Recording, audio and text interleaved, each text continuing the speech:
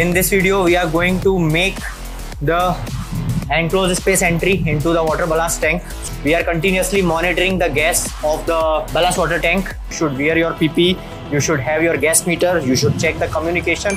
One person should be standby here to communicate along with the bridge.